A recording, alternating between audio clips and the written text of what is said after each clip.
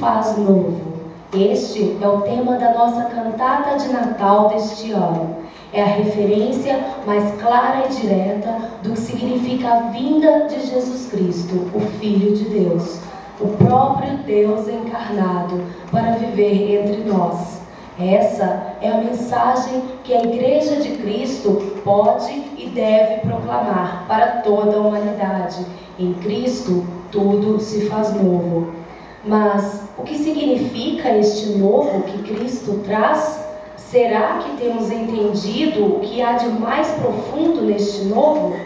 Vivemos tempos complicados, não apenas no Brasil, como em todo o planeta. Mais e mais a humanidade parece ter medo do futuro, ou seja, medo do novo. Como diz o filósofo Bauman, nossa tendência é de vê-lo, o futuro, como uma mistura de bênção e maldição, com as maldições crescendo regularmente em termos de volume, enquanto as bênçãos vão ficando mais escassas e espaçadas.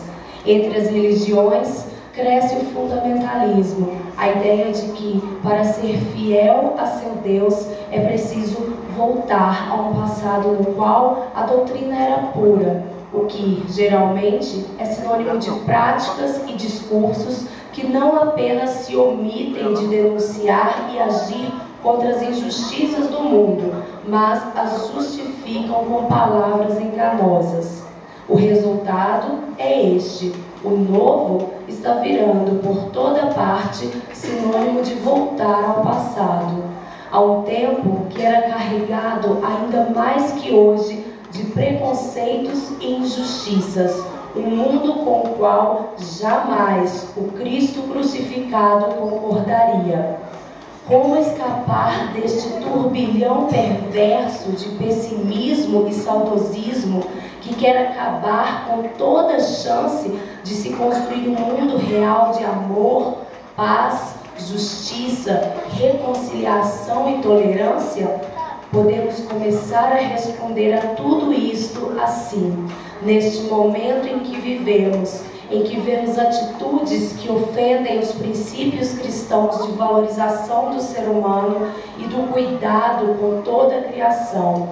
Precisamos cantar a plenos pulmões que Cristo é nosso Deus, nosso amado, o Criador, nosso Salvador, o Restaurador, a parte que nos falta, nosso socorro, o alvo da nossa adoração.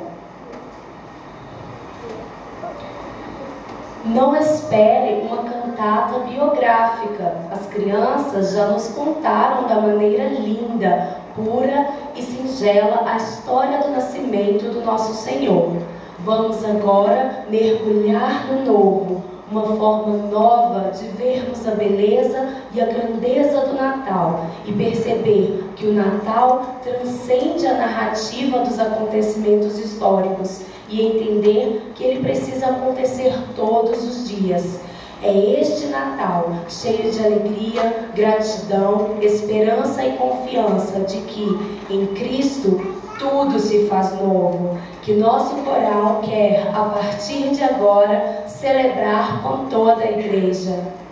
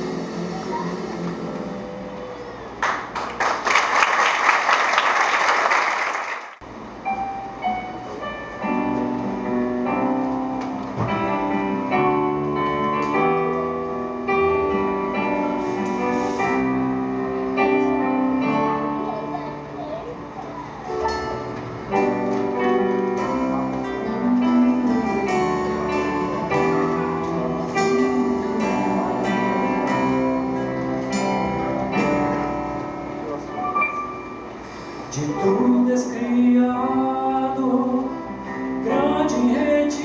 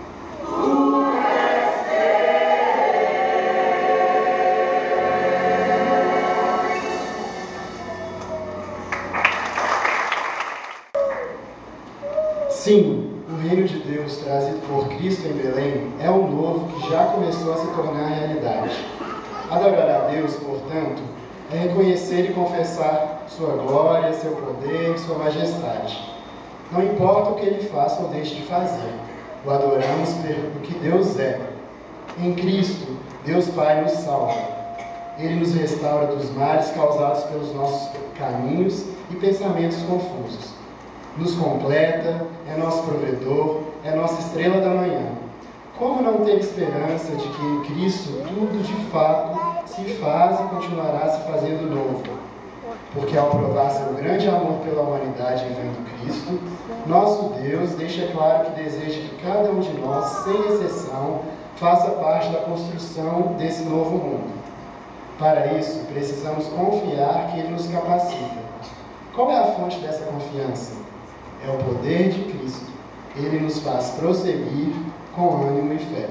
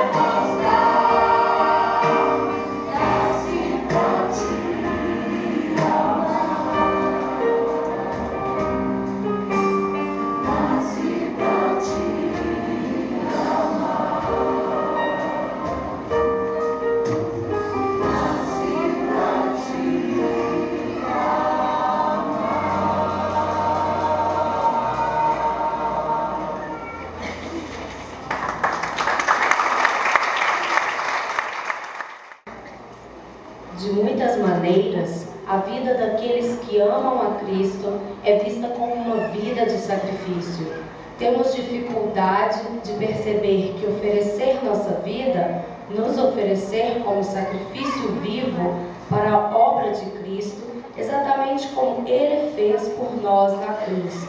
Significa perder todo o medo, confiar sem limites, amar sem limites. É o próprio Deus que nos conclama a sermos fortes, corajosos e termos bom ânimo. Viver da forma que Cristo nos pede não é fácil, mas quem imita as palavras e atos de Cristo no seu dia a dia pode ter esta certeza, mesmo quando a luta, a dor e o sofrimento parecerem não ter fim, a mão de Deus sempre virá para ajudar. Cante esta verdade e conte com ela em seu coração.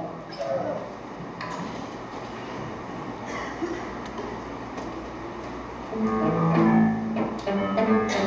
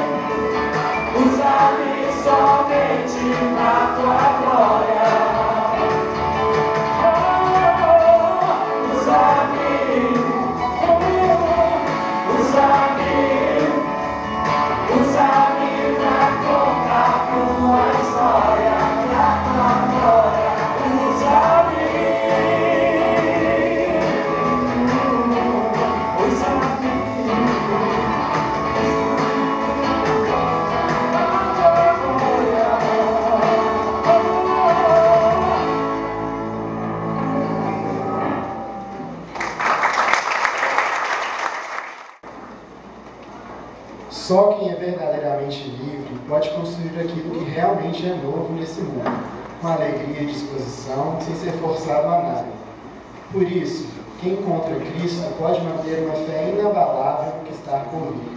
Cristo já nos libertou de todo mal e de todo temor quanto ao futuro que Ele nos dará. E ao contrário do que descreveu o filósofo que mencionamos lá atrás, o futuro será cada vez mais de bênçãos, e não de maldição, se trabalharmos diligentemente para que, para que cresça nesse mundo o reino de paz, justiça e amor que Cristo anuncia. Imagine o dia em que o reino de Deus finalmente estiver totalmente presente para todos, no mundo todo, no corpo e na alma de cada um. Sim, no corpo e na alma. Dessa maneira, nossa atitude será de constante louvor com tudo que somos, atos e pensamentos. Celebremos que nosso Senhor é forte, é digno, é o Deus fiel.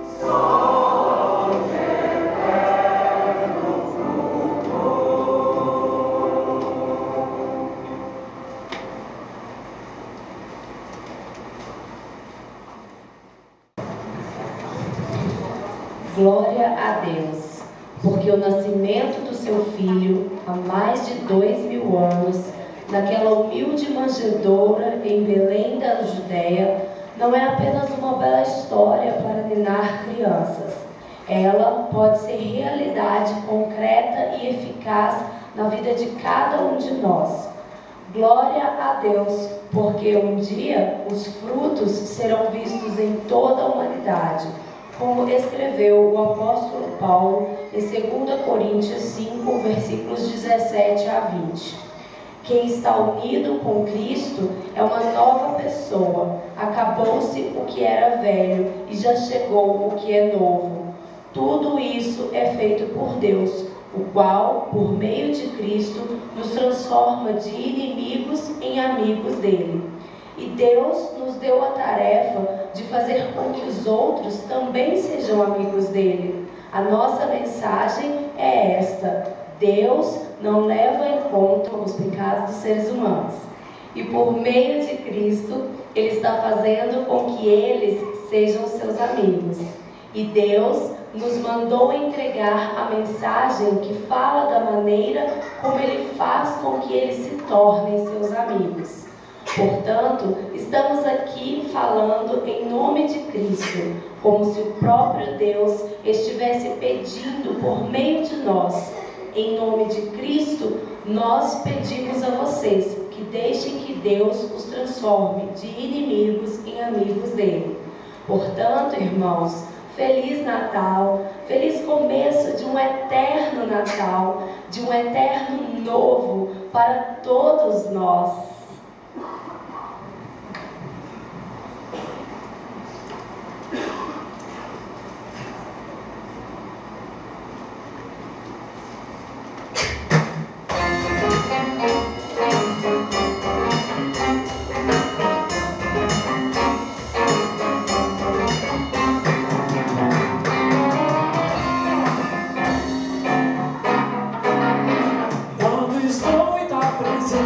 Posso ouvir.